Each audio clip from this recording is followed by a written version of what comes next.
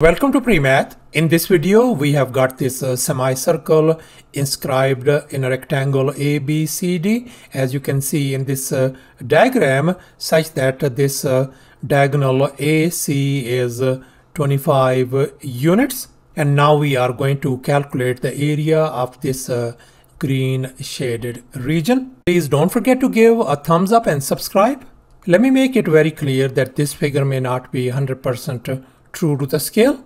Let's go ahead and get started. And now let's focus on this uh, semicircle. We know that this uh, AO is the radius of this uh, semicircle. Likewise, OD is uh, radius as well. Let me call this radius R and this radius R as well. Then the diameter is going to become R plus R is going to be 2R. And since we are dealing with this uh, rectangle, if this side is uh, 2r then this side is going to be 2r as well. Now let's focus on this radius. This is going to be r. Since we are dealing with this rectangle, then this side AB is going to be r as well. And here's our next step. Let's focus on this uh, triangle ABC. And we know that this is a right triangle. So therefore, we are going to use the Pythagorean theorem. And here's our Pythagorean theorem a square plus b square equal to c square. Let me go ahead and call uh, this uh, longest leg uh, our side c. I'm going to call this side a and this side I'm going to call b. Now let's go ahead and fill in the blanks in this Pythagorean formula. a in our case is r, b is 2r and c is 25. So this is going to become simply r square plus 2r whole square equals to 25 square. And now we are going to solve for this radius r. So we got over here r square and this is going to become 4 r square. 25 square is 625. r square plus 4 r square we're going to combine like terms 5 r square equal to 625. And now let's divide both sides by 5. This is gone. So therefore our r square value turns out to be 125. Let's undo this square by taking the square root on both sides. So therefore our r value is going to be equal to and now on the right hand side, this uh, square root of 125, I have copied down over here.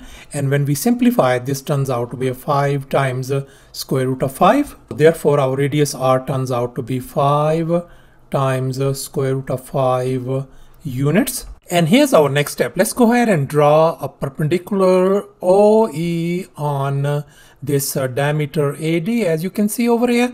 And as a result, we got these uh, two right triangles, AOF and this uh, CEF. Then we can see that these uh, two right triangles, AOF and uh, CEF are uh, congruent triangles according to angle side angle theorem. Because in these triangles, these angles are 90 degrees.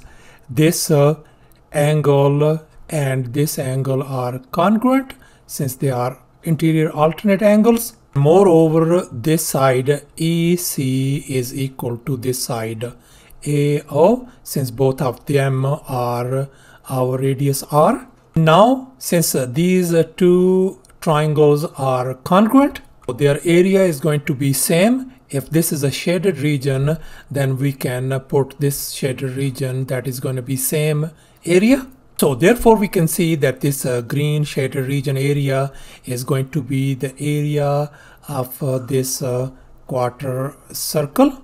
Now let's recall the area of a circle formula. Area equals to pi r square where our radius uh, r is 5 times square root of 5. So therefore the area for this uh, quarter circle is going to be pi r in our case is 5 times uh, square root of 5 whole square.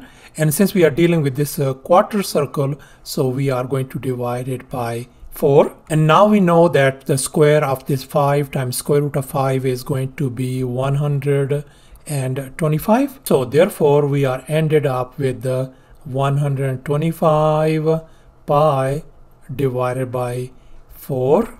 So therefore the green shaded region area turns out to be 125 pi divided by 4 square units. And if we replace this pi value, this uh, green shaded area is going to be approximately equal to 98.17 5 square units. So thus the area of this uh, green shaded region turns out to be approximately equal to 98.175 square units. And that's our final answer. Thanks for watching and please don't forget to subscribe to my channel for more exciting videos. Bye.